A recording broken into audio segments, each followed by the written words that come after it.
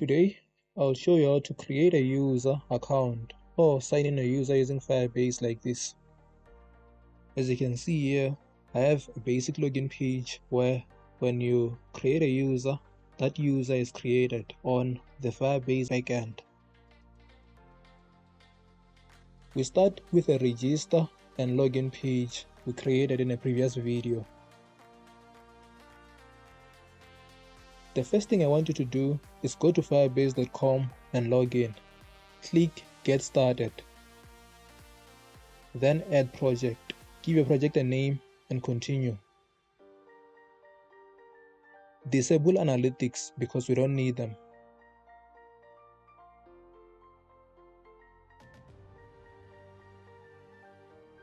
When you get to this page, click on web app because we are adding a web app to our project. Give it a name and click register.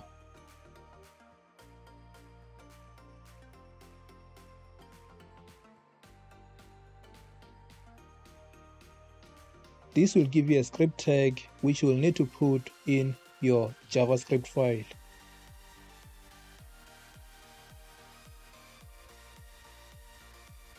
Copy this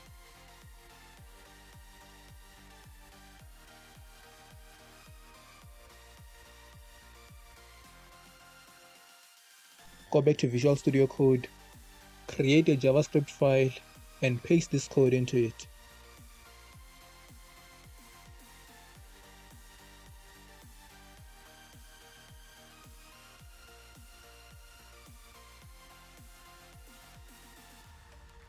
Then go back to Firebase and click on the authentication tab. Click on create these are all the sign-in methods that are supported by Firebase. I already have a tutorial on Google Sign-In and plan to do one on Facebook login later, but for now, click on email and password and enable that.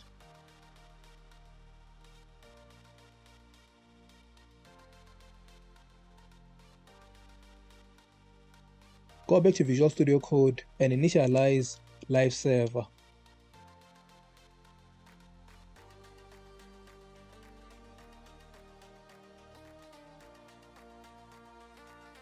Once it is open, copy the localhost domain without the port.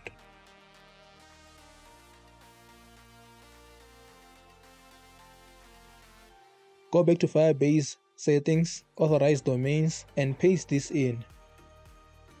This is a list of all the domains that are allowed to create or login users using Firebase authentication.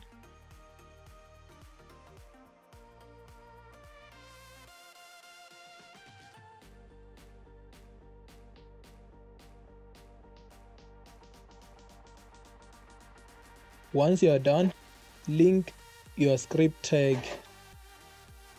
Make sure the type is module.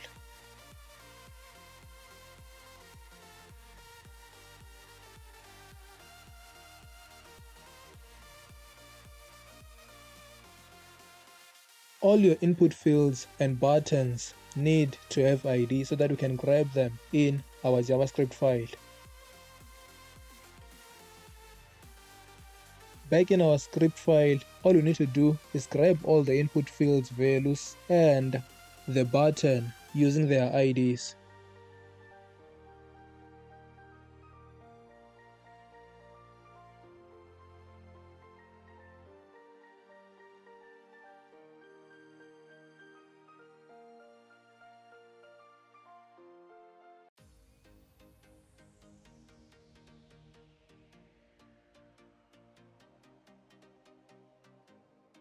Then add an event listener to the button such that when the button is clicked, this function runs.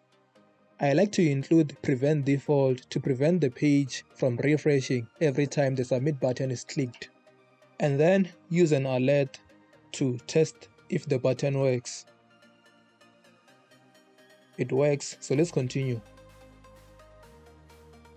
Go back to the Firebase documentation and import getAuth and create user with email and password.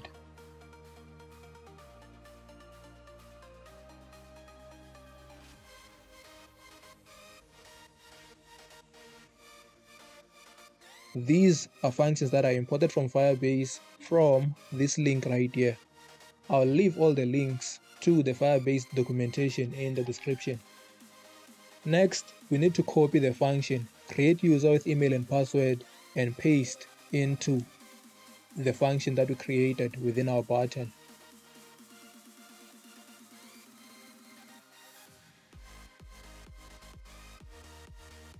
And we're done. The create user with email and password function takes in auth, email, and password as its arguments. Another thing I like to do is use an alert to notify the user what's going on.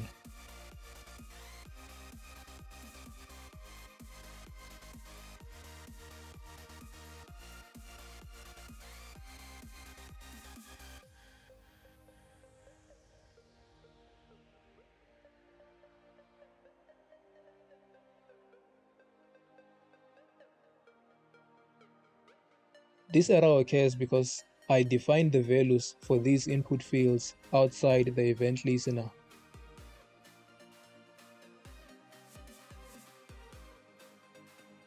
So just copy this into the function.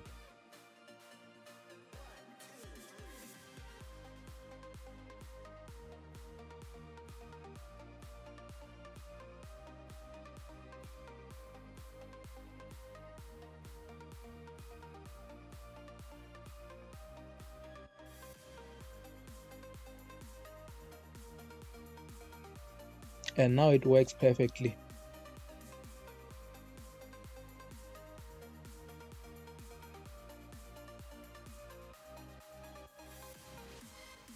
I like to redirect users to another page once they are registered. So let's redirect and create that page.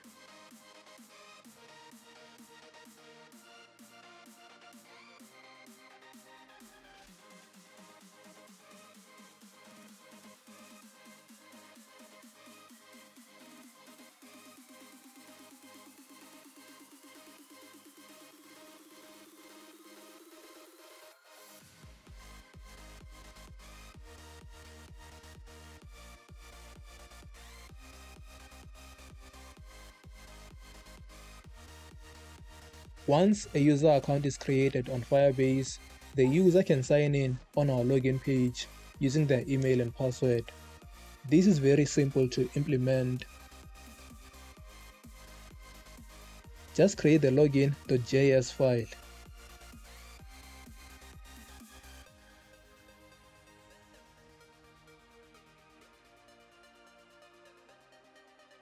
Link it to your login page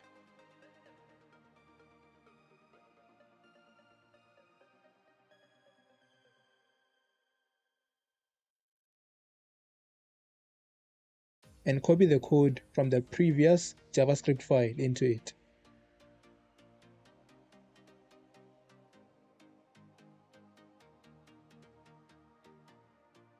All we need to do is change the function. The function we need now is called sign in user with email and password. So I'll just copy that from the Firebase documentation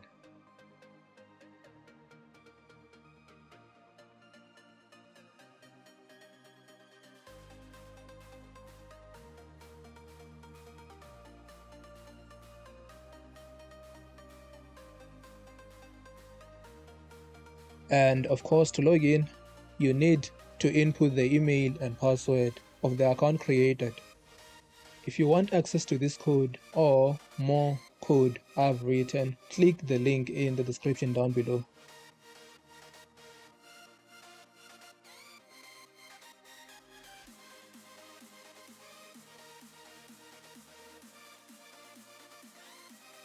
That's all I've got for this video. Go away now.